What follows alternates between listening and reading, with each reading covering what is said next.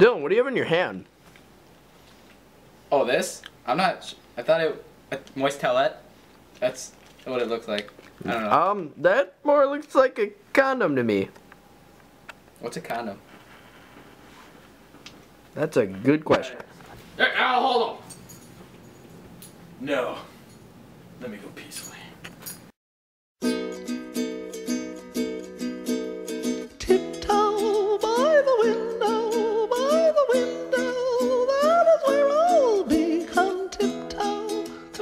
Tulips with me. Oh, tiptoe by the garden, by the garden the willow tree. Come tiptoe through the tulips